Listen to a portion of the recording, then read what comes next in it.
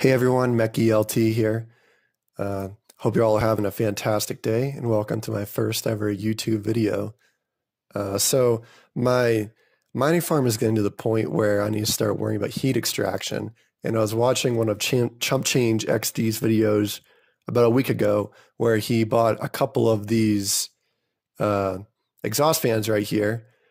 And in another video that he posted uh, but a few days after that initial one, he questioned whether or not these things can actually push the 1800 CFM that they claim they can.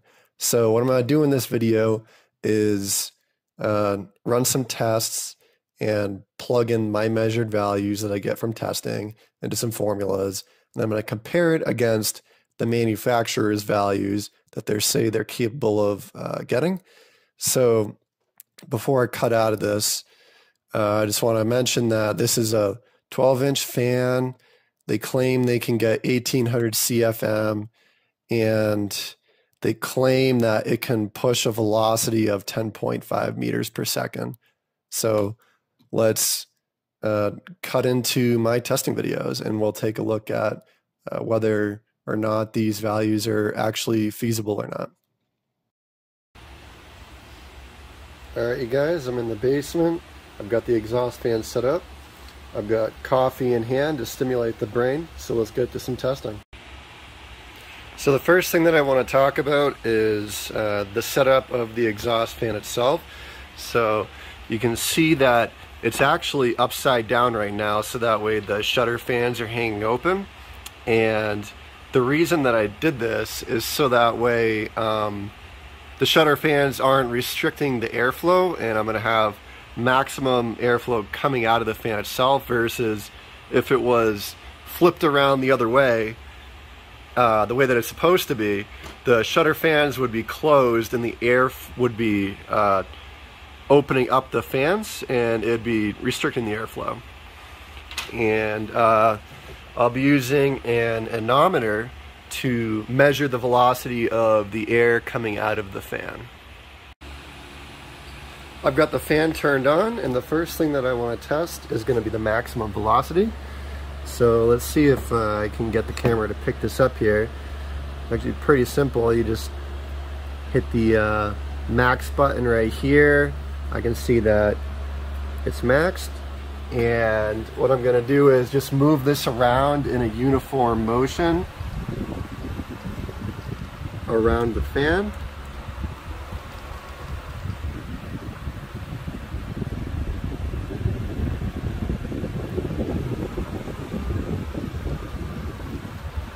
So right now, I've got a max velocity of about 6.5 meters per second. It just bumped up to about 6.7. I'm probably gonna end up going around this one more time. One thing I wanna mention is that the air velocity picks up as you get to the outside diameter of the fan. And as I move it towards the center, like right now, the velocity is going to drop.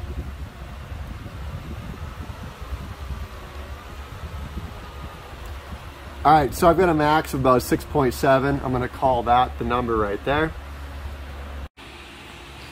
The next test that I want to do is going to be looking at the average velocity coming out of this. So I'll hit the average button right here. You see it's pulling average. And I'm going to use the same uniform motion that I uh, used in the last test. And I'm just going to move this around nice and slow. And the reason that I want to look at the average is because, as I already talked about, towards the middle of the fan, the velocity coming out of it is slower.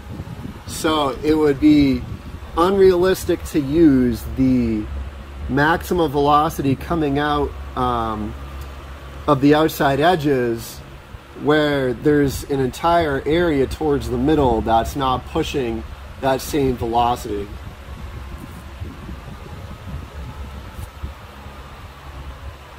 So I've got an average of about 5.4. As I go towards the middle, it's dropping down to about 5.1, 5.0 towards the outside. Let's go back up. We're at about 5.5, 5.6, 5.5, 5.2. So probably go around one more time. And I'm going to call it about 5.2 because it bounces around a little bit between 5.6 and a little bit under 5 as, I went towards the middle. Now that I've got my measured values from testing, the next thing I want to do is pop them into the formula, and then I'll be able to compare what I ended up getting from the testing, and I can compare it against what the manufacturer claims they can get out of these fans, which is 1800 CFM. So before I get into that, first thing I want to do is pop in the velocity and the area that was listed on Amazon. So if you remember, the area listed was 12 inches, which in this case is going to be one foot. And then the velocity they claim they could get what is uh, 10.5 meters per second. So to calculate CFM or volumetric flow rate, they're the same exact thing. It's just the area of the fan times the velocity coming out of it. So the formula for the area of the fan is pi times diameter squared divided by 4. We'll pop in one foot and we get 0.785 square feet. And then velocity is going to be the 10.5 meters per second. And I'm going to convert it to feet per second and then convert it to feet per minute. And the reason why I do that is because square footage times feet per minute gives us the units of cubic feet per minute or CFM. So popping these two values into our volumetric flow rate formula, we end up getting 1622.6 CFM. So this already is not a good start from the manufacturer because they claim they can get 1800 CFM. And the value they listed for the velocity that their fan is capable of pushing is 10.5 meters per second. So it's already almost 200 uh, CFM lower than what they say is capable of doing. So Let's next look at uh, the values that I ended up testing. So the first one I'm going to go over is the maximum velocity. The equations are all going to be the exact same. The only difference is going to be the velocity that I pop in, which would be 6.7 meters per second. Again, do a unit conversion to feet per second, and then another unit conversion to feet per minute. And what I ended up getting was a CFM of 1035.3 cubic feet per minute.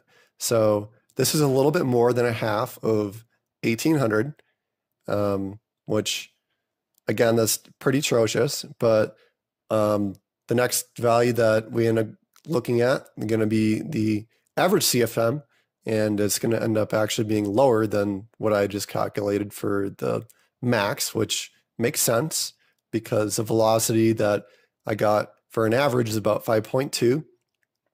And popping it into the equation, we get 803.5 cubic feet per minute. So this is much less than half of what the manufacturer claims they can get. And uh, uh, my numbers are kind of all over the place on this. So I ended up wanting to do a gut check on it. So what I did was I looked at AC Infinity's website uh, these guys are pretty reputable. And I ended up looking at their 12 inch shutter fan. And um, if you look in the bottom right hand corner of the picture right here, they claim they can get an airflow of 830 CFM out of their 12 inch fan. So this is actually pretty comparable to the 803.5 that I calculated with the average velocity coming out of the fan that I got off Amazon. So, um, a couple of the things I want to mention is uh, the power usage. AC Infinity says they pull 54 watts at the wall, and I didn't include this in my testing clips, but the fan that I have pulls 50 watts at the wall, and I think chump change was around the same value, plus or minus a few watts or something like that. But without getting into like and um, like motor design and stuff like that, for you know the the diameters on these fans are the same and their wattage that they're pulling is about the same. So I can't imagine that their motor designs are vastly different. Therefore, I don't think that the uh, rate at which these things are spinning is really much different. And I mean that that can affect how much uh, velocity comes out of a fan. Of course, the faster that it spins, going to have a higher velocity. But the fact that they're pulling the same wattage, uh, don't really think that's the case. And really, the only other variable is going to be the design of the fans themselves. But I don't really think that this manufacturer has a crazy design going on uh, that would make it so much better that it gets over twice the airflow of what an AC Infinity can push. So, um, with all that said, we'll go and ooh, we'll go and look at a uh, summary of all the values. Again, manufacturer claims they can push 1800.